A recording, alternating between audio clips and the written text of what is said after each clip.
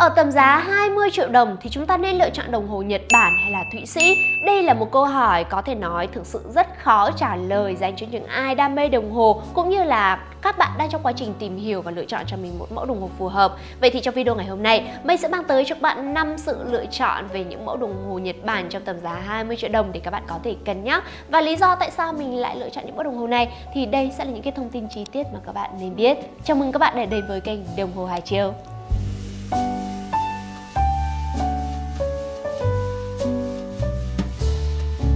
Hồ đầu tiên sẽ đến từ thương hiệu Aron với một thiết kế khá là đơn giản thôi. Cụ thể, chúng ta sẽ có một số mã là REAU 0001S00B với mức giá 23 triệu 160 ngàn đồng. À, như các bạn có thể thấy chúng ta sẽ có một thiết kế không thể nào mà đơn giản hơn. Và rất là đặc trưng của bộ sưu tập Orange Star khi mà ở phần thiết kế phần mặt số này chúng ta sẽ có một thang đo dự trữ năng lượng ngay tại vị trí 12 giờ này. và tại vị trí 3 giờ thì chúng ta sẽ có một thiết kế ô lịch ngày rất là tiện dụng để chúng ta có thể theo dõi thời gian. Và điểm nổi bật của mẫu đồng hồ này sẽ đến từ bộ kim mắt ngỗng với tông màu xanh. Nổi bật ở trên nền mặt số màu trắng này vô cùng duyên dáng. Và khi mà kết hợp với các chi tiết ví dụ như là các số la mã này hay là cái bộ khung niềng thì chúng ta cũng được mã PVD và kết hợp với dây da nữa. Thì tất cả những cái chi tiết này sẽ mang tới cho mẫu đồng hồ chúng ta một vẻ đẹp cổ điển nhất định khi mà chúng ta đeo trên cổ tay. Và chúng ta cũng sẽ có một đường kính mặt số phù hợp với đại đa số cổ tay của đồng hồ Việt luôn. Đó là 38,7 với bề dày là 12.8 này. Kích thước này sẽ phù hợp với những ai có cổ tay từ 15 cho tới 17 cm nha. Và tất nhiên với tầm giá này thì Oren cũng sẽ trang bị những chất liệu tốt nhất cho mẫu đồng hồ này. Đầu tiên là mặt kính sapphire với khả năng chống chảy xước rất là tốt. Độ cứng chỉ sau kim cương mà thôi.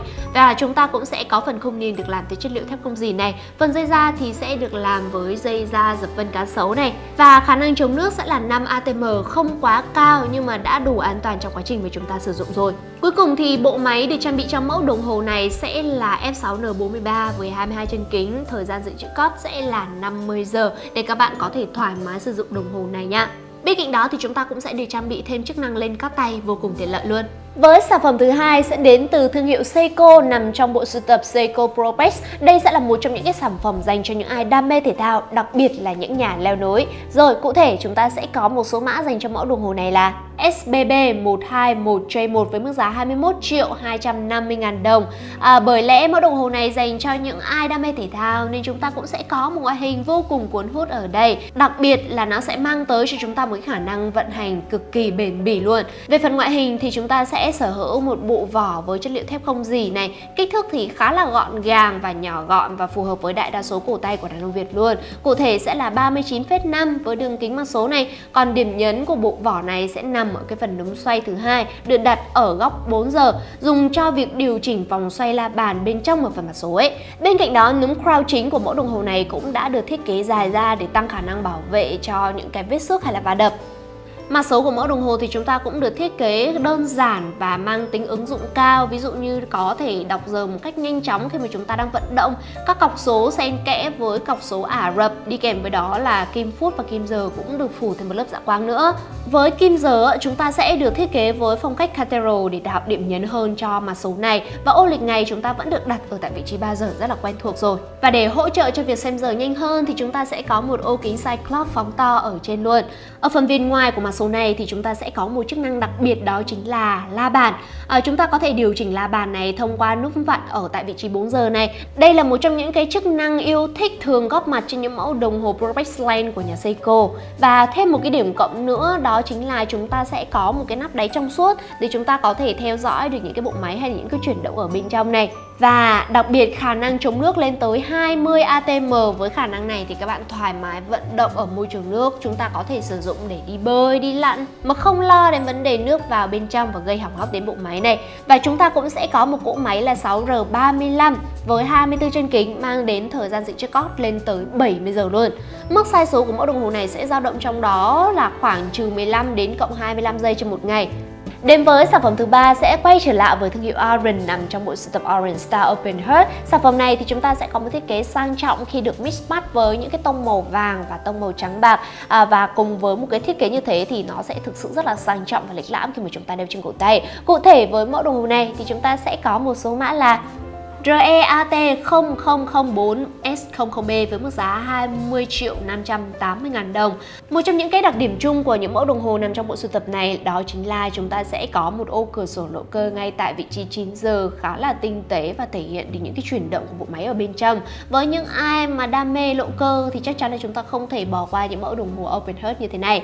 Và điểm đặc biệt của những dòng Orange Star thì chúng ta vẫn sẽ có một thang đo dự trữ năng lượng ở ngay tại vị trí 12 giờ này. Ở bộ cọc và kim chỉ thì chúng ta cũng sẽ được làm rất là to bản và rõ ràng ở đây và cũng được phủ thêm lớp dạ quang cho phần kim giờ, kim phút để chúng ta theo dõi giờ trong điều kiện thiếu sáng này và tất cả những cái chi tiết này thì chúng ta sẽ được thể hiện một cách nổi bật với tông màu vàng nổi bật ở trên nền mặt số màu trắng ngà. Và kết hợp với à, dây đeo được làm thì chất liệu thép không gì được phối màu theo dạng mi rất là sang trọng. Và bảo vệ phần mặt kính thì sẽ là chất liệu mặt kính sapphire với khả năng chống chảy xước rất là tốt này. Đường kính mặt số của chúng ta sẽ là 39.3 với bề dày 12.2. Khả năng chống nước sẽ là 10 ATM dành cho mẫu đồng hồ này. Đây thực sự là một con số cũng khá là ấn tượng với một mẫu đồng hồ có một nét đẹp rất là sang trọng ở đây. Và bộ máy được trang bị trong mẫu đồng hồ này sẽ là F6R42 với 22 chân kính này. Tần số dao động sẽ là 21.600 pph và thời gian dự trữ năng lượng sẽ là 50 giờ. À, chúng ta cũng sẽ được trang bị những cái chức năng ví dụ như là lên cót tay hay là dừng kim dây khi mà chỉnh giờ. Rất là tiện dụng trong quá trình chúng ta sử dụng luôn. Mẫu đồng hồ thứ tư sẽ đến từ bộ sưu tập Seiko Prechet SSA 392 cho 1 với mức giá 21 triệu 690 ngàn đồng. À, mẫu đồng hồ này thì chúng ta là một trong những cái mẫu đồng hồ Prechet Cocktail Times của nhà Seiko. À, chúng ta có một cái kiểu dáng thiết kế rất là lịch lãm cùng với cái tông màu cà phê độc đáo này. Thiết kế mặt số vừa phải 40.5 phù hợp với đại đa số cổ tay của đàn ông Việt luôn. Mặt số của chúng ta cũng rất là dễ đọc thời gian với bộ kim và cọc giờ rất là thanh mảnh, tinh tế, nổi bật ở trên vân sân Bush. Và lịch ngày thì chúng ta sẽ được thể hiện ở ngay tại vị trí 6 giờ này. Chúng ta cũng có một thang đo năng lượng được trải dài từ vị trí 12 đến 4 giờ, giúp chúng ta có thể dễ dàng bao quát được cái phần thời gian cũng như là năng lượng còn lại cho mẫu đồng hồ này là bao nhiêu. Bảo vệ cho những cái thiết kế đó chính là chất liệu HX Crystal, một trong những cái chất liệu độc quyền của nhà Seiko. Với chất liệu kính này sẽ mang tới một khả năng chống trầy xước và độ chịu lực rất là cao. Phần vỏ thì chúng ta sẽ có một cái tông màu vàng kim kết hợp với dây da mang tới một cái vẻ đẹp thanh lịch nhưng không kém phần sang trọng khi mà chúng ta đeo trên cổ tay. Bộ máy được sử dụng cho mẫu đồng hồ này sẽ là một bộ máy in-house của Seiko với à, 4R35. Chúng ta sẽ có 23 chân kính với tần số dao động là 21.600 VPH. Bên cạnh đó được tích hợp hai chức năng rất là tiện lợi, đó chính là lên cót tay và dừng kim dây khi mà chúng ta chỉnh giờ. Cuối cùng vẫn là một siêu phẩm đến từ thương hiệu Seiko nằm trong bộ sưu tập Seiko Probex và cũng sẽ dành cho những ai đam mê thể thao. Cụ thể với mẫu đồng hồ này á, chúng ta sẽ có một số mã là SSC913B1 với mức giá 20 triệu 500 ngàn đồng đến từ bộ sưu tập Probex Speed Timer mới nhất của nhà Seiko. Chúng ta sẽ có một vẻ ngoài cực kỳ thu hút và nam tính. Đầu tiên, chất liệu được trang bị trong mẫu đồng hồ sẽ là chất liệu mặt kính sapphire với khả năng chống chảy xước rất là tốt này. À, chúng ta cũng sẽ có một chất liệu thép không gì cho phần không niềng và dây đeo và khả năng chống nước lên tới 10 atm, đảm bảo an toàn khi mà chúng ta sử dụng với môi trường nước luôn. Mẫu đồng hồ này thì chúng ta sẽ sử dụng năng lượng ánh sáng để mang tới năng lượng cho bộ máy này. Và như các bạn có thể thấy là đường kính màn số cũng khá là lớn trong mẫu đồng hồ này với 41.4, bề dày màn số sẽ là 13mm.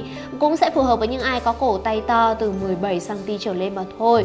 Quay trở lại với phần thiết kế thì điểm nhấn của mẫu đồng hồ này sẽ đến từ phối màu Pepsi xanh đỏ trên viền bezel này, rất là nổi bật khi mà chúng ta đeo trên cổ tay. Phần dial của mẫu đồng hồ sẽ được làm với tông màu xanh navy, được hoàn thiện với cái phương pháp là sunblast mang đến một cái độ bóng tươi tương đối tốt nhưng mà nó vẫn đảm bảo được cái độ nổi khối cho các chi tiết ở trên phần mặt số. Bộ kim và cọc số được làm dạng vạch và được phủ thêm lớp dạ quang nữa. Bên cạnh đó, chúng ta còn sở hữu ba mặt số phụ dành cho chức năng bấm giờ thể thao chronograph. Ba mặt số này thì được hoàn thiện với tông màu đen nhằm tách biệt so với phần mặt số chính với tông màu xanh. Về phần kim dây của chronograph thì chúng ta sẽ được sơn đỏ, góp phần tăng thêm một cái sự nổi bật cho mẫu đồng hồ này. Và hy vọng rằng ở cái tầm giá 20 triệu với những mẫu đồng hồ đến từ thương hiệu Nhật Bản mình mang tới trong video ngày hôm nay á, thì các bạn sẽ có thêm cho mình những cái sự lựa chọn mới với những cái phong cách đa dạng hơn. Và các bạn ấn tượng với mẫu đồng hồ nào hay là muốn mình làm về một cái chủ đề nào nữa thì hãy comment bên dưới phần bình luận nha. Và đừng quên like, share và subscribe cho kênh Dwight Chiều. Còn bây giờ mình xin chào và hẹn gặp lại các bạn trong những video lần sau. Bye bye!